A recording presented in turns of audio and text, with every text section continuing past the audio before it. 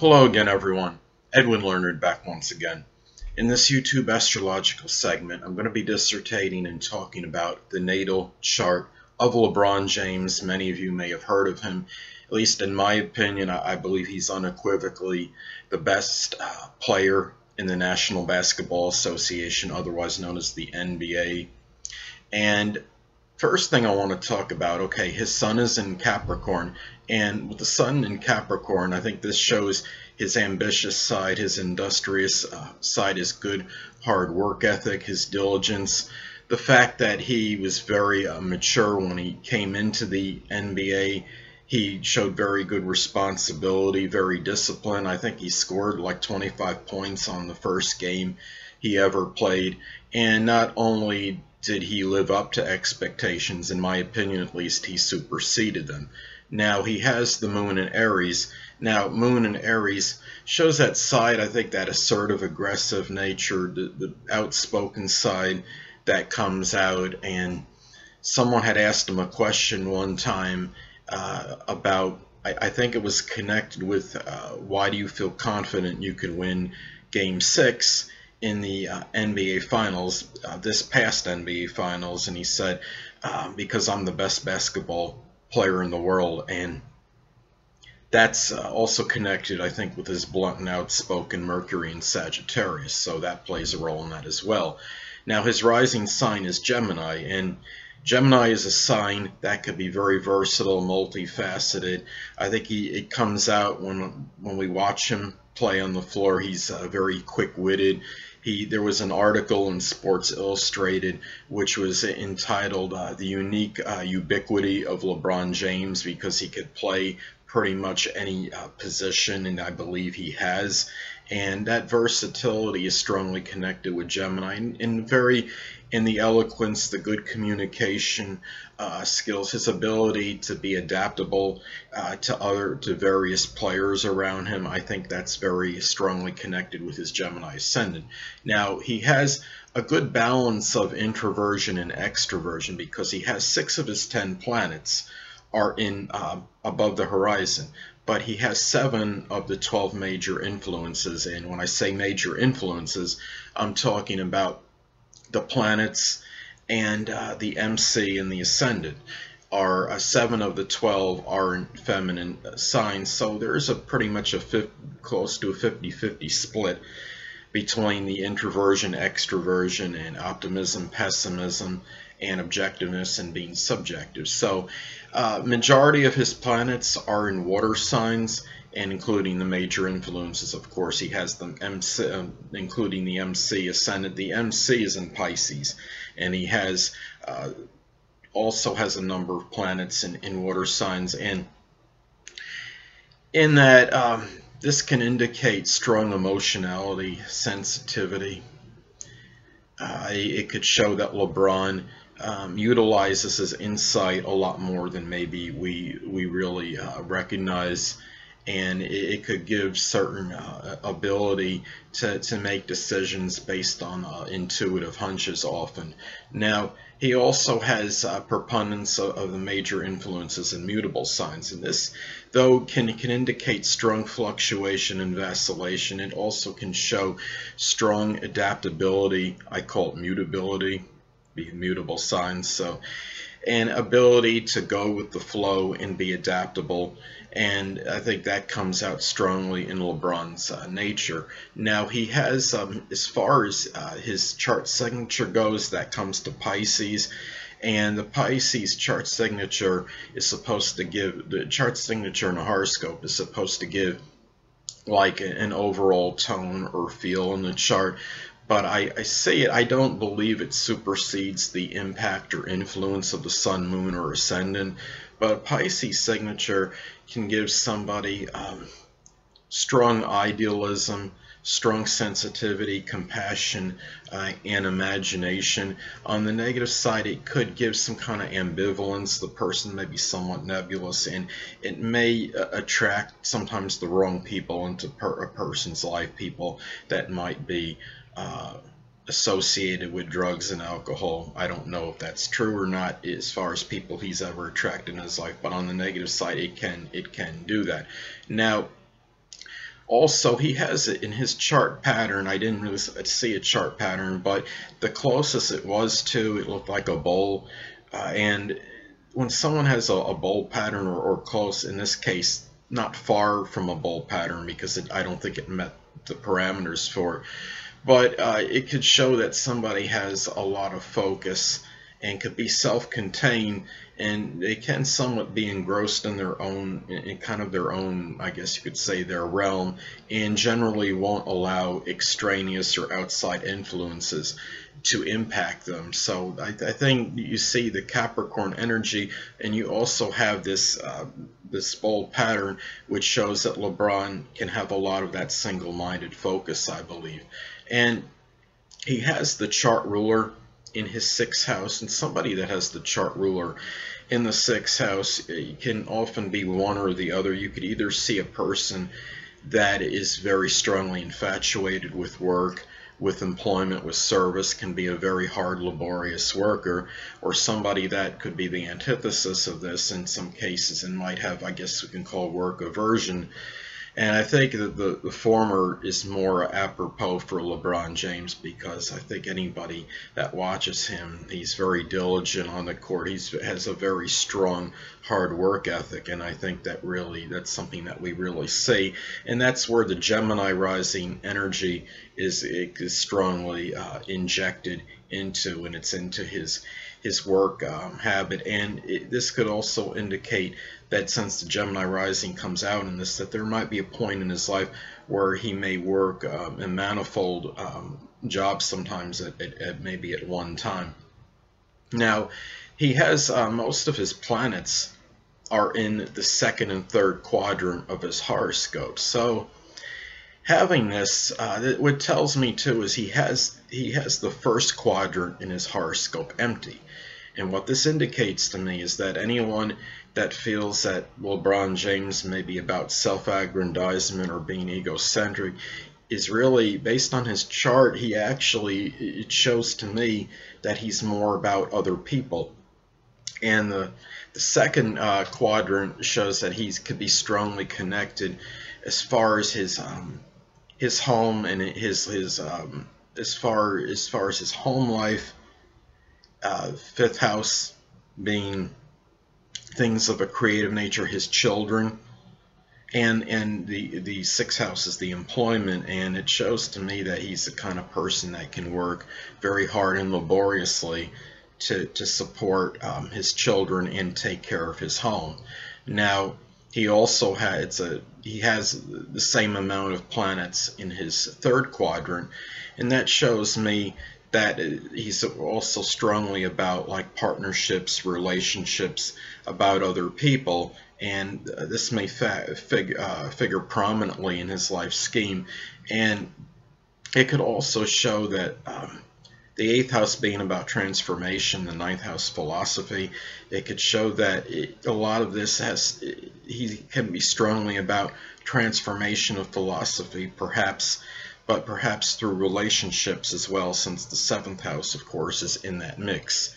Now, he has most of his planets on the right side of his horoscope. He has 8 of 10 there. So that tells me that he's very, could be strongly uh, connected uh, with others and may like to do things with others uh, more so than doing things in solitude or by himself. It indicates more that it could show a little bit more of a dependency as a, uh, being dependent a little bit more as opposed to being self-reliant and independent. But I think what it is with LeBron is that he just likes to do things collectively with others. And it shows, I think it comes out in the fact that he's a very strong team player and about the team uh, concept when he plays basketball. Now, another thing I thought was interesting is that he has no uh, retrograde planets. And somebody that has no retrograde planets could often uh, have a little, it, it, gives a little ease and ability for as far as attainments and accomplishments. And there might be, not, maybe it's part of the reason why he was able to join the NBA at such an early age and has really flourished and thrived ever since. And with little in a with little thing anything not many things really inhibiting his progress or, or any obstructions in his way on his road to success And a lot of this, I think, may have been attributed to having no planets in a retrograde uh, sign. So that's something uh, to consider. Now, another thing I think is interesting with uh, LeBron James is he has um, he has a stellium uh, in his horoscope with uh, Venus in Aquarius. It's out of sign stellium. Venus in Aquarius uh, conjunct Pisces MC. Pisces MC conjuncts Mars in Pisces. Now, I think it, with this, to sum, summarize it, it can give a strong ability to incorporate uh, money, which is Venus, uh, the career, which is the MC, and also the athleticism, which is Mars, into a unifying uh, purpose. Venus and Aquarius can give a strong love for group involvement, and Pisces MC can show a lot of um, idealism and sensitivity in, uh, in their career matters and be very idealistic in what they're trying to accomplish as far as that goes. Now, the Mars in Pisces may have some wavering or vacillating uh, energy, and at times uh, on the negative side, it shows where one could be maybe have an exorbitant amount of energy one moment, but then show maybe go stagnant the next. So there just has the, the, the one negative on the, on the stellium is that, and also uh, but what modifies this, though, is that Mars, it may be in Pisces, but it's also in the 10th house in his natal chart, which is, uh, as many of you know, that is an accidental uh, dignity. So that shows the uh, connected with his ambitious and industrious side and putting that energy strongly into career matters. And the conjunction from Mars to the MC, I believe, reaffirms that. Now, an interesting um, LeBron James has a very, I think, intriguing uh, yod configuration in his natal chart. Well, I call it a weak yod because the Jupiter in conjunct his Gemini ascendant, which is part of this yod configuration, is falls slight, just a little bit over what I would say that five degree orb, but a, but a weak yod I would consider. Now, the yod in, in his chart is the Gemini ascendant at the apex point and he has uh, Jupiter and Saturn making a sextile to each other, Jupiter and, and Saturn in conjunct Gemini ascendant, which as I stated before is that action point or apex point of the yod configuration. Now, having a Jupiter sextile uh, Saturn, this could indicate uh, a person that is able to realize um, that he can, he or she, well in this case he of course, can uh, can work hard, laboriously, be very industrious, and and, and, and show have discipline, working very methodically, being systematic, in order to generate perhaps uh, their own luck. And when I so that is the positive in this. Now, with um, the the inconjuncts to the ascendant come from uh, Saturn and Jupiter. And if one in the yod configuration can work through this tension associated with the inconjuncts, it could lead to uh, some profound accomplishment or achievement uh, for this person. Now, having Jupiter in conjunct the ascendant, it could indicate somebody that might at times be uh, a little bit maybe have a, a little exorbitant amount of confidence, maybe a little bit too much and it, it, can um, it could also be somebody that might feel a little bit overworked and, and may uh, expend more than, than the normal amount of energy doing so. Now Saturn in conjunct the ascendant could indicate somebody that may be overwhelmed perhaps with some uh, responsibility and it, it could indicate that maybe by in because of this perhaps it might show certain despondency in the person's uh, in the person's nature in that that outer demeanor which is the um, which is the ascendant.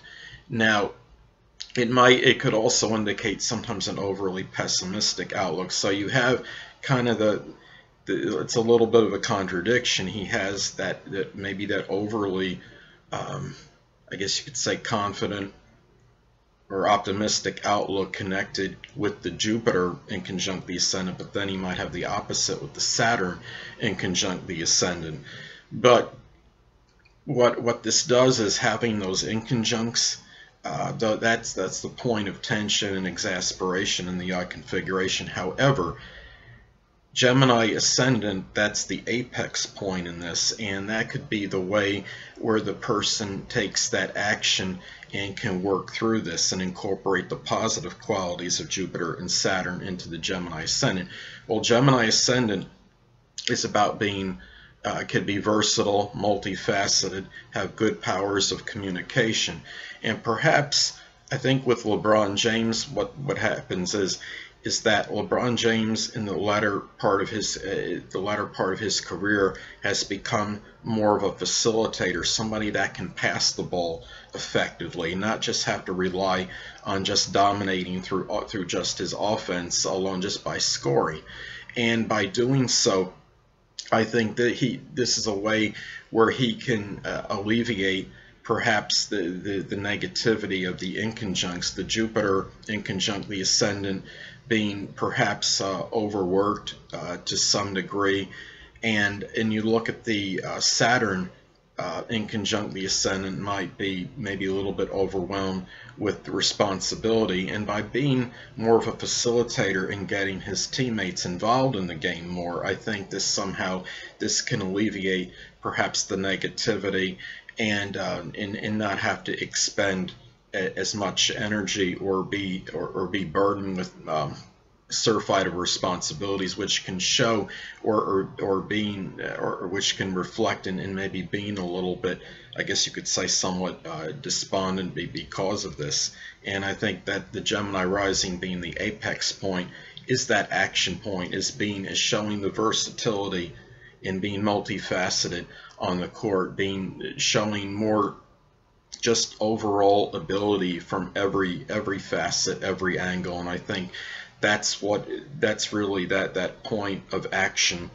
um, for LeBron James, and I think that does help help um, help. I guess you could say help alleviate the the negativity of those inconjuncts to the ascendant, and but and he can also uh, incorporate the positive with Jupiter and Saturn into this as well. The discipline with Saturn and in the expansiveness and, and perhaps uh, the sports, um, I guess you could say the affinity for sports, perhaps uh, put put that balance of the exuberance with Jupiter and expansiveness with the discipline and seriousness of Saturn into the equation, and and, and it comes out, I think, um, and, and this could come out strongly uh, through, I guess we could say, the apex point in Gemini rising in his natal chart. Well, anyway, people, that'll conclude this YouTube astrological segment for uh, LeBron James' natal chart. And stay tuned next time where I will be continuing my series on the signs on the house cusps. So anyway, Two things I want to get with you on before I head out. Firstly, the stars may impel but do not compel. And secondly, never isolate any single astrological element, aspect, planetary placement, position, configuration, influence, or what have you, and make an analysis, astrologically speaking, based on this alone. Because astrologically speaking, the person is the sum of all their components in their natal chart, and not just one. Until next time, people, stay well.